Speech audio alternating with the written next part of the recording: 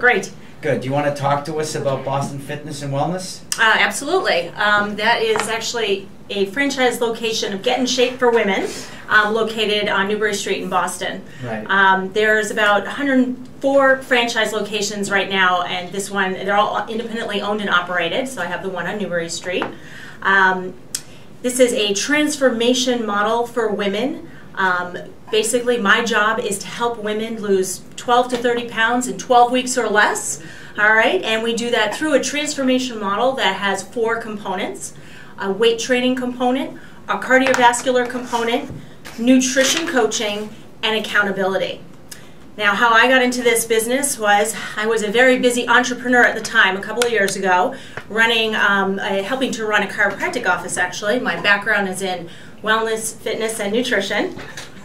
right. Um, and uh, I had found myself, you know, like a lot of women my age and women in general, um, working too hard, not taking care of myself. I had gained a little weight. So I found this franchise and I actually went as a client. And I went for a couple of years, had a great experience, lost my weight, reached my goal.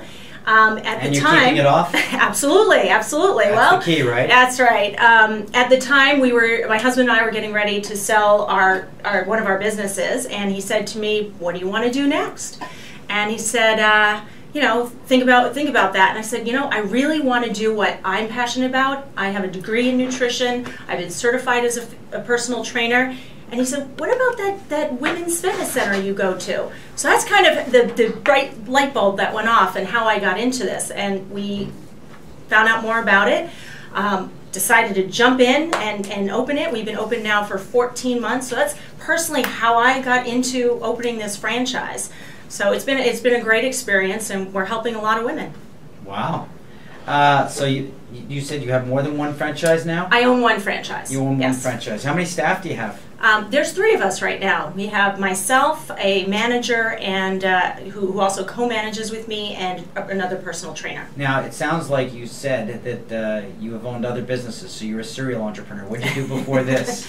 Um, well, actually, my husband's a chiropractor, and he's had a business in uh, Beacon Hill for 20 years. So um, I've helped him to build and run that business.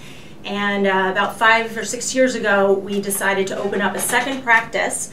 And what we did was we partnered with another chiropractor. We um, bought a failing practice, took one of our associates, and literally coached him through the process.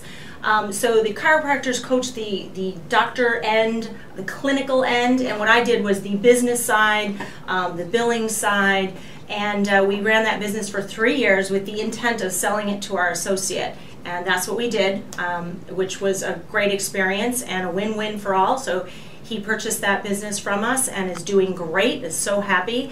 And that's when I had decided it was time for me to get back into what I was I, have always been passionate about health and wellness and, and, chiropractic, but with my nutrition background, I said it was time for me to do something that um, was was part of my background.